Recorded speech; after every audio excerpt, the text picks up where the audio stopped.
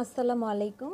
Welcome to my channel মেগলাস kitchen আমি আজকে আপনাদের জন্য নিয়ে হাজির হয়েছি মজাদার এবং বাঙালিদের খুবই পছন্দের একটি খাবার, লুচি। বাঙালিদের ঘরে অন্তত সকাল হোক, বিকেল হোক, মাঝে মাঝেই এই লুচি তৈরি করা হয়। তো সহজভাবে কীভাবে এই লুচিটা আপনারা তৈরি করতে পারেন তাই আজকে আমি আপনাদের জন্য করে দেখাবো। তো যারা চ্যানেলটিতে নতুন, প্লিজ আমার চ্যানেলটি সাবস্ক্রাইব করবেন, পাশে থাকা বেল আইকনটিকে ক্লিক করে দিবেন। তো চলুন একটা বলে প্রথমে আমি দুই কাপ পরিমাণ ময়দা নিয়ে নিচ্ছি। তারপর এখানে সামান্য লবণ দিয়ে দিচ্ছি স্বাদ মতন। আর দিয়ে দিচ্ছি দুই টেবিল চামচ রান্নার সয়াবিন তেল। এ পর্যায়ে চাইলে আপনারা ঘি অথবা বাটারও ব্যবহার করতে পারেন।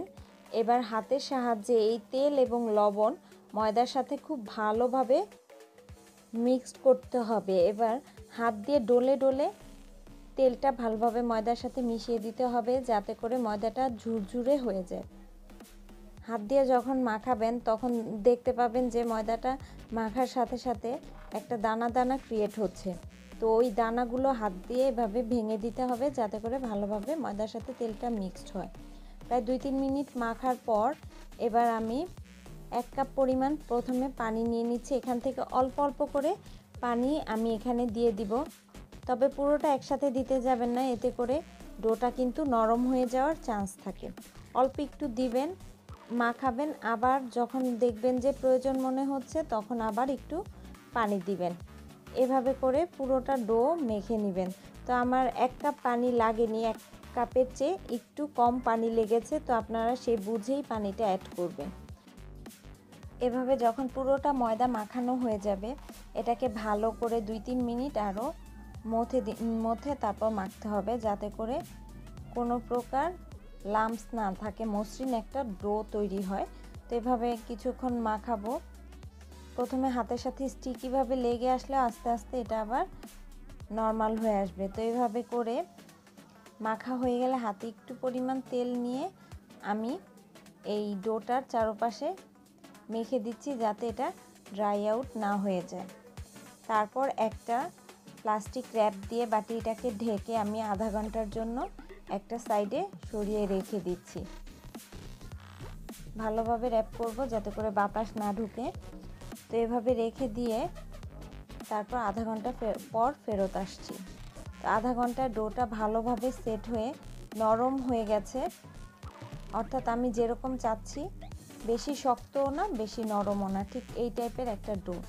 তারপর এটাকে আমি টপারের উপর নিয়ে ভালোভাবে একটু দুই তিন মিনিট মেখে নিব। এভাবে মাখা হয়ে গেলে আমি এটাকে লম্বা একটা শেপ দিব।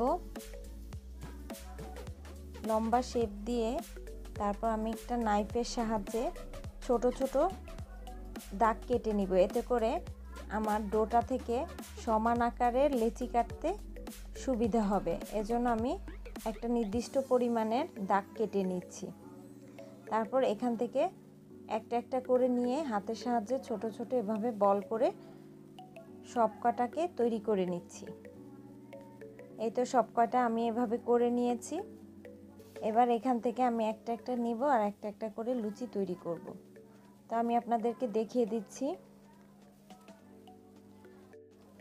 এ পর্যায়ে একটু ময়দা ছিটিয়ে দিচ্ছি যাতে করে এটার কাউন্টারের গায়ে লেগে না যায়।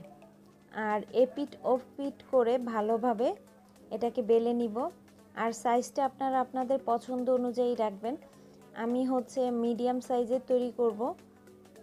একেবারেই ছোট না, আবার একেবারেই বড় না। এরকম একটা সাইজ তো এটাকে যতটুকু প্রয়োজন ঠিক অতটুকু সাইজের বেলবেন এবং বেলার সাথে সাথে ভাজার চেষ্টা করবেন। এতে করে লেগে যাবে না অথবা নষ্ট হবে না।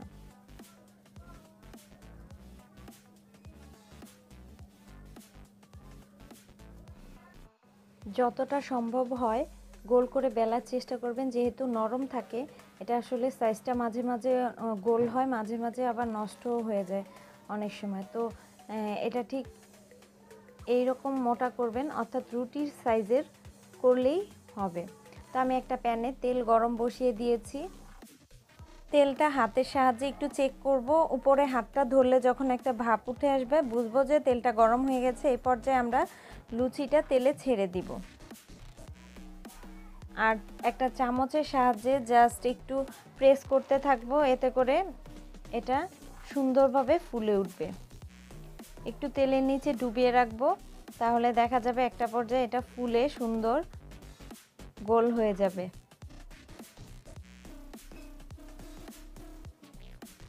তো এভাবে কিছুক্ষণ রাখার পরে দেখা যাবে যে এটা সুন্দরভাবে গোল হয়ে যাচ্ছে। তো যখন ফুলে উঠবে, তখন এটাকে ঘুরিয়ে ঘুরিয়ে এক পিঠ ভালোভাবে ভেজে নিয়ে তারপর আরেক পিঠ উল্টে দিব। দুই পিঠই এক দেড় মিনিট করে ভাজলে সুন্দরভাবে ভাজা হয়ে যাবে। আর ভাজা হয়ে গেলে আমরা এটাকে তুলে কিচেন টাওয়ালের উপর রেখে দিব যাতে করে এক্সট্রা তেলটা শুষে নেয়। তো এভাবে উল্টে পাল্টে আমরা দুই থেকে তিন মিনিটের মধ্যেই এক একটা লুচি ভাজা হয়ে যায় সুন্দরভাবে। তো যখন ভাজা হয়ে যাবে তখন ছাকনি বা চামচের সাহায্যে ভালোভাবে তেলটা ঝরিয়ে একটা কিচেন টিস্যুর উপরে তুলে নিব। এটা ভাজার পর কালারটা খুব সুন্দর গোল্ডেন কালার হলে তারপর আমরা তুলে নিব প্রত্যেকটা তেলটা ঝরিয়ে এভাবে।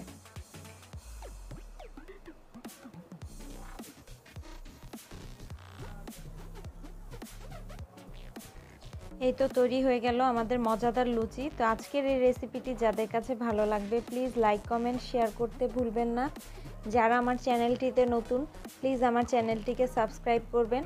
পাশে থাকা বেল আইকনটিকে ক্লিক করে দিবেন, যাতে করে নতুন নতুন নোটিফিকেশনগুলো আপনারা পেতে পারেন।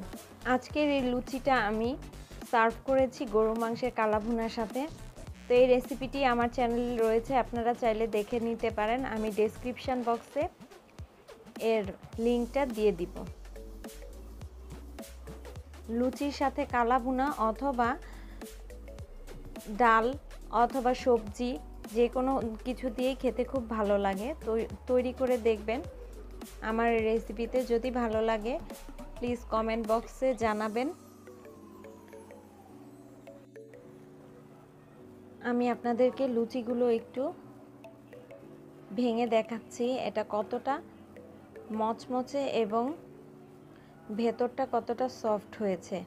তা আপনারা দেখে বুঝতে পারবেন, আশা করি।